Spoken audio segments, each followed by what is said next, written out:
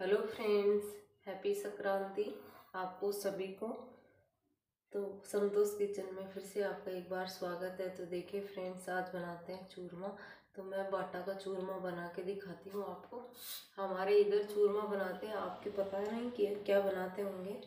तो मेरे को आप लिख के ज़रूर बताएगा तो ये मैंने लिया है मोटा आटा। मोटा आटा लिया है मैंने। जो नॉर्मल चपाती बनाते हैं, उससे मोटा है आटा ही तो इसका दूध से आटा गूंथना है हमारे को।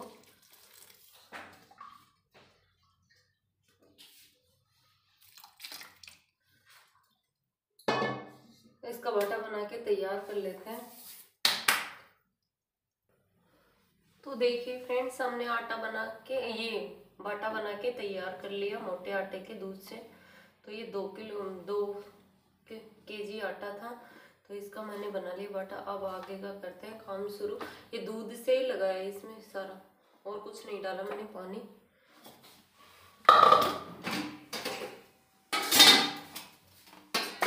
इसके लिए चाहिए हमारे बाटी कुकर। चूरमा की रेसिपी मैंने पहले भी डाल रखी है, पर अब की बार बनाएँगे बाटा का चूरमा। इजीली बन जाता है, दस मिनट में बन के तैयार हो जाएगा, दस पंद्रह मिनट में। तो इसको कर लेते हैं गरम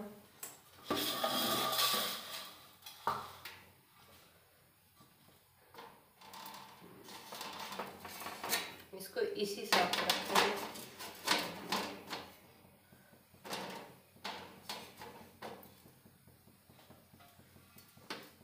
इसी हिसाब से वो सारे बाटे रख देंगे इसके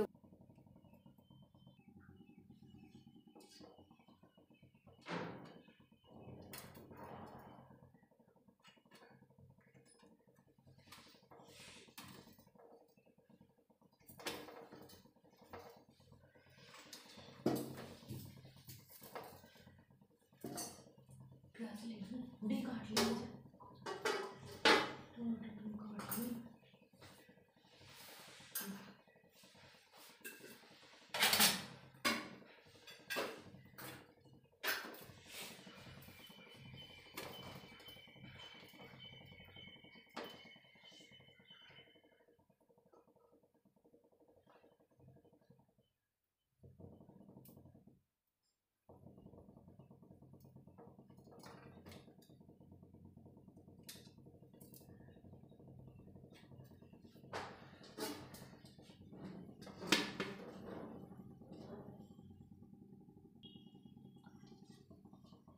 तो देखिए फ्रेंड बाटा अभी अच्छे से सीख नहीं है अभी तीन चार मिनट ही हुई है पकाते हुए।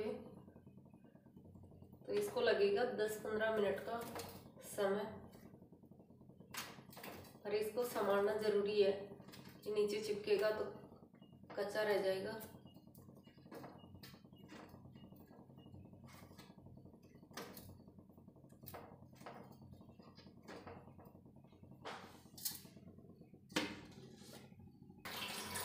तो देखिए फ्रेंड्स पाँच मिनट हो गई चेक करते हैं। इसको कर देंगे बदली। देखिए, जल्दी चेक करना है, नहीं तो बाटे हमारे जल जाएँगे नीचे से।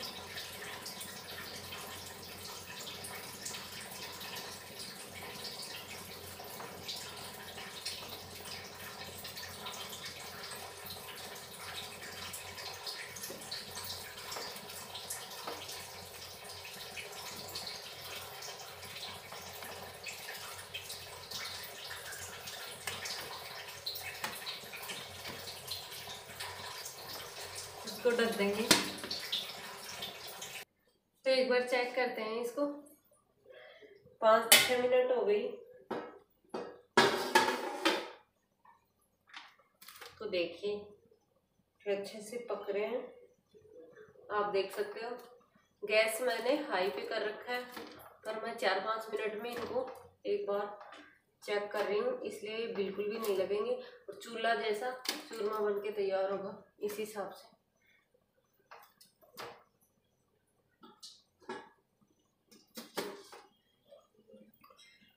तो देखिए फ्रेंड्स आटा बन के तैयार हो गए। आप देख सकते हो। बिल्कुल भी जले नहीं है ये। सारे बाटे बना के तैयार कर लिया हमने। आप देख सकते हो। अच्छे से सीख गए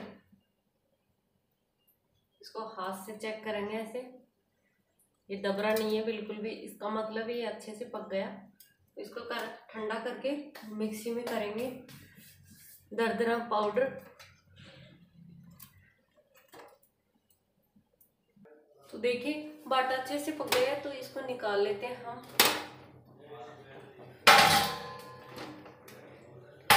ठंडा करेंगे और फिर मिक्सी में इनका दरदरा पाउडर बनाएँगे।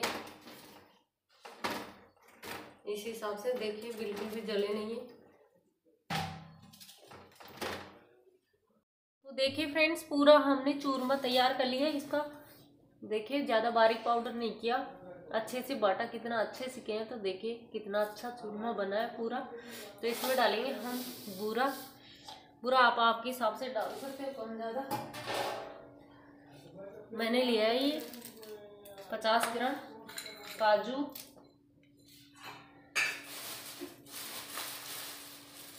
ये लिए बादाम की टुकड़ी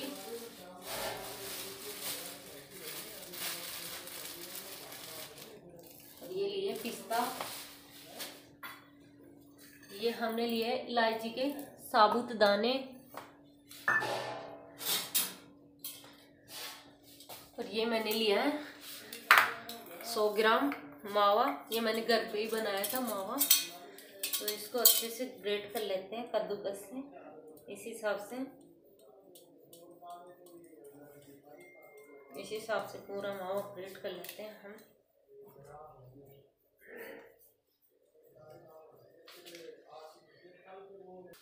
तो देखिए इसमें मावा हमने डाल दिया। अब इसमें करेंगे खड्डा। इस हिसाब से खड्डा करेंगे।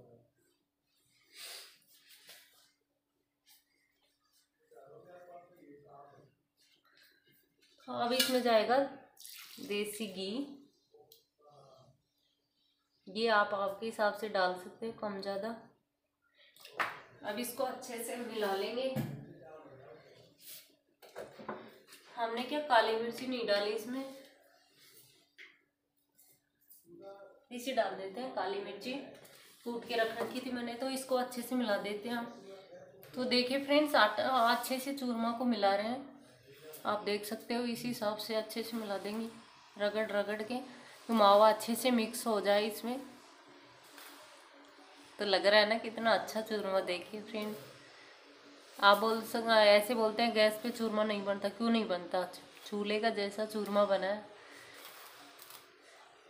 इसको पाँच सात मिनट अच्छे से मिलाएँगे तो देखिए, मैंने इसमें ट्रांसफ़र कर दिया, क्यों? पराती छोटी पड़ रही थी तो इसमें अच्छे से मिला देंगे अब तो देखिए फ्रेंड चूरमा बन के तैयार है। तो देखिए कितना अच्छा बना है। आप देख सकते हो। वाह क्या टेस्टी चूरमा है। तो आप पंद्रह से बीस मिनट में चूरमा बन के तैयार हो गए, आप देख सकते हो। तो आज के लिए थैंक यू फ्रेंड्स।